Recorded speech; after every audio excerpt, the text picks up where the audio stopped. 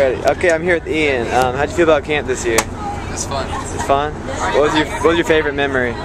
Mission Impossible. Mission Impossible. Can you explain that to us? Uh, well, like, what do you mean? Explain it to the new people coming in. How it works? Yeah. Okay, uh, Mission Impossible is where you go out to a park at in like at nighttime, and you're wearing all dark clothing, and you have to go and find this one ticket person which has like this blinking light, uh, and you grab the ticket without trying to get without getting caught by the counselors. Uh, and if you get caught by the counselors, then you get shaving cream and duct tape. It really sucks. But then you get out of it, and then you go and find the person you give the tickets to. Uh, and you tell them what team you're on, and then you go and find the ticket person again. Awesome. That's pretty much it. That's pretty much it's madness, right? Oh yeah. Did you get taped up a lot? Uh, three or four times. Three times. Yeah. Yep. Yep.